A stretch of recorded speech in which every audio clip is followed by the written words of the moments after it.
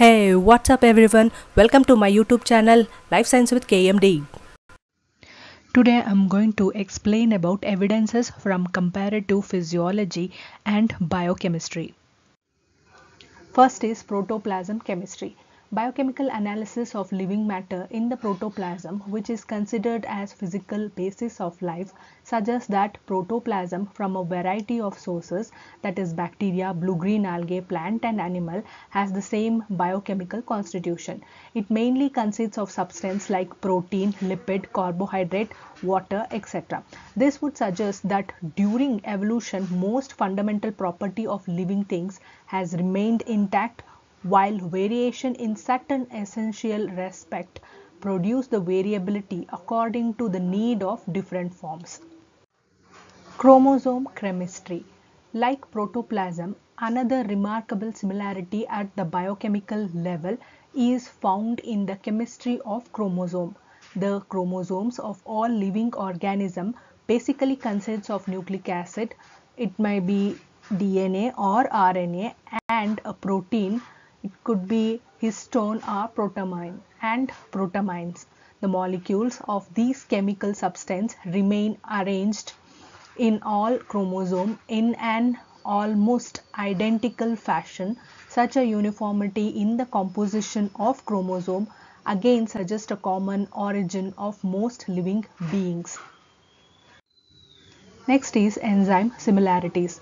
A large number of animals and plants contain identical enzymes. Several enzymes found in the digestive tract are common in variety of animals. Example is trypsin and amylase are found from sponges to mammals. A number of enzymes used in photosynthesis are common in variety of green plants. Such common enzymes and consequently a common mechanism of process of photosynthesis suggest a common ancestry of green plants. Next is hormonal similarities. Like enzymes, hormonal similarities are also found in all vertebrates. Example, thyroid hormone is commonly found in all vertebrates and this hormone from one class of organism can be substituted to that in another class of organisms. For examples, in frog, deficiency of thyroid hormone can be corrected by feeding them on mammalian thyroid tissue. Another commonly occurring hormone of vertebrate is melanophore, expanding hormone. It is concerned with pigmentation of skin to expand, thus rendering the skin color dark. This hormone is found in amphibians and mammals. In the latter, it is a vestigial hormone, but if it is grafted into amphibian skin, the skin pigmentation expands. The process of this hormone in these hormones in vertebrates is understandable only on the basis of descent from an ancestor to whom these hormones were useful. Coming to the comparative serology. When foreign protein is inoculated into the blood of an animal, the latter produce a complex protein compound against the foreign protein inoculated. This compound are familiarly known as antibodies and the foreign inoculated protein is known as antigen. When a reaction occur between antibody and antigen, a soft white precipitate will be formed. The strength of the precipitate depends upon the concentration of antigen. The precipitate is the precipitin and the test is precipitation test. One of the remarkable feature of this test is that the antibody formed against one antigen can also react with antigen of other source provided the latter is chemically similar to the first antigen antibodies containing serum is known as antiserum. Antiserum of antigen of one animal can be tested with antigen of another in order to show their relationship. The test can be interpreted that if precipitate result with more dilution against or uh, diluted antigen of one animal against the test animal, then the former is more closely related to later. That means the antiserum of antigen of one animal can be tested with antigen of another animal in order to show their relationship. The test can be interpreted that if the precipitate result with more diluted antigen of one animal against the test animal then the former is more closely related to the later. If precipitate result with less diluted antigen of that animal then this uh, then it is uh, distantly related to the test animal.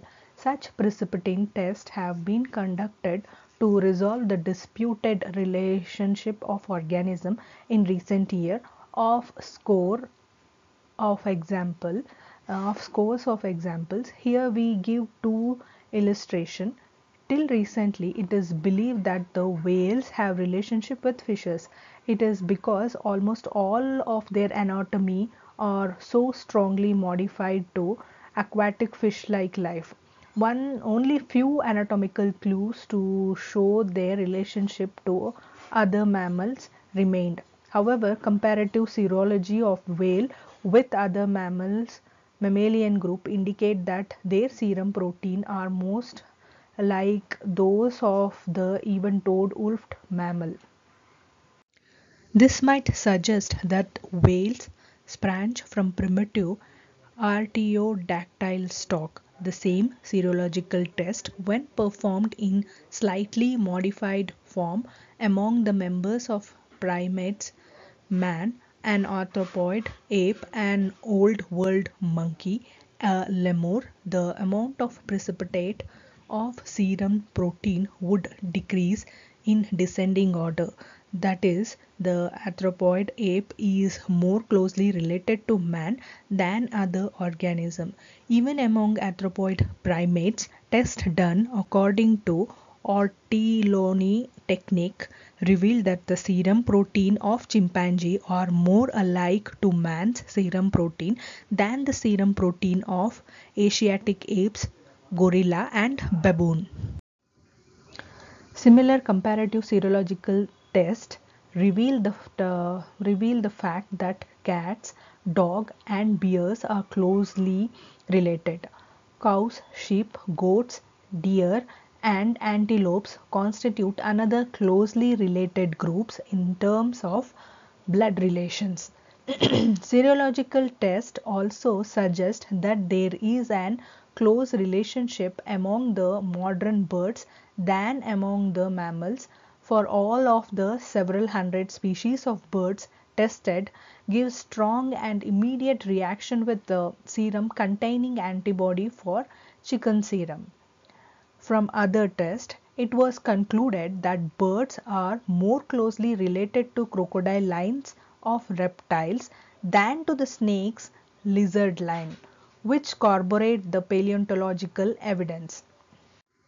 Now this is a picture which uh, explain about the principles of precipitin test applied to investigate um, investigation of animal relationship.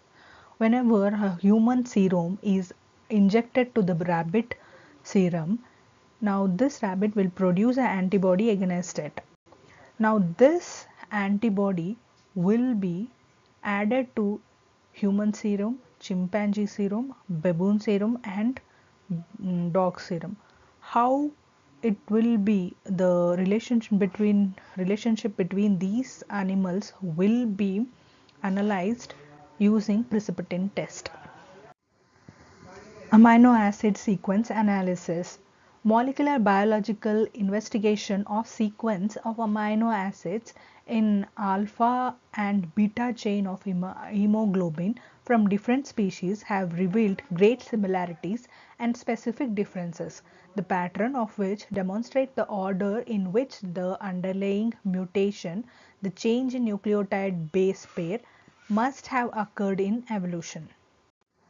The evolutionary relationships inferred from these studies agree completely with those based on morphological studies, analysis of amino acid sequence in the protein portion of the cytochrome enzyme provide further concurring evolutionary relationship. Further, the pattern and rate uh, and rates of reaction of lactate dehydrogenase and certain other enzymes with the normal pyridine nucleotide coenzyme and with analog of NAD can be used to demonstrate evolutionary relationship. Coming to the excretory product analysis. An analysis of urinary waste of different species provides the evidence of evolutionary relationship. The kind of nitrogenous excretory waste depend upon the particular kind of enzymes present and the enzymes are determined by genes which have been selected in the course of evolution. The waste products of metabolism of purine, adenine, guanine and excreted um, are excreted by man. Another primates other primates has uric acid by other mammals as allantoin by amphibians and most fishes as urea and by most vertebrates as ammonia. Vertebrate evolution has been marked by successive loss of enzymes for the stepwise degradation of uric acid. J. Needham made an interesting observation that chick embryo in the early stage of development excrete ammonia, later it excrete urea and finally excrete uric acid. Enzymes urease which is which catalyze the first step in the degradation of uric acid is present in the early chick early chick embryo but disappear in the later stage of development.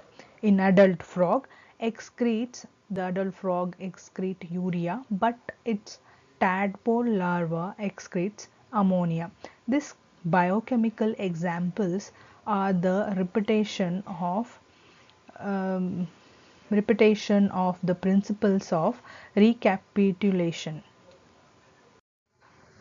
Next is phosphogens. The phosphogens play a key role in muscle contraction and are the source of energy for resynthesis of ATP. Once they are broken down in the muscle of most vertebrates, phosphogens is always produced a specific compound called creatine phosphate. While in most vertebrates it is arginine phosphate whereas in case of uh, hemichordate the most primitive chordate have both phosphogens and uh, both phosphogens the creatine phosphate as well as the arginine phosphate. Such a situation is found in echinoderms and on morphological grounds echinoderms have been considered close to the ancestor of chordates. Usually all cells obtain energy from processing glucose in glycolysis. In most organisms, oxygen can be used as electron acceptor in the breakdown of pyruvic acid to carbon dioxide and water. Coming to the last session, which is a sum up for evidence from comparative physiology and biochemistry. What we learned through this lecture is that there will be a similarities in protein, RNA and DNA molecules of organism which are of uh, same species or same genera.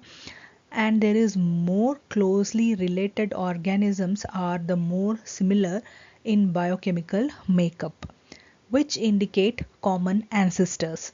Universality of genetic code it supports the evolution. Similar chemistry and structure of chromosomes among eukaryotes are observed. Even when it comes to the plant, chlorophyll is the same basic molecule in all photosynthetic organisms. Even the enzymes which are involved in photosystem 1 or even photosystem 2 in the photosynthesis process are same in case of both algae as well as in case of uh, like in case of uh, higher plant like for example angiosperms maybe in case of uh, algae if it is a red or brown algae that variation will be there. But if you take the pteridophytes or uh, angiosperms it will be the same even in case of gymnosperms also. So these are the evidences which comparatively i mean uh, which give the evidences for physiology and biochemistry. This is the important topic in csir as well as um, um, icmr jrf exam and uh, it will be repeatedly asked in both kpsc assistant professor uh, post also. In my channel there are so many videos like on um, uh, question paper solved on KPSC exam general uh, exam or general paper or even uh, zoology exa- exam uh, which has been conducted in uh, 2016 for uh, assistant professor. So you can go through those or even you can see certain um, videos on um, important topics which are uh, come which will be repeatedly asked in CSIR exam. Those things also you can uh, go through in the playlist of uh, my channel.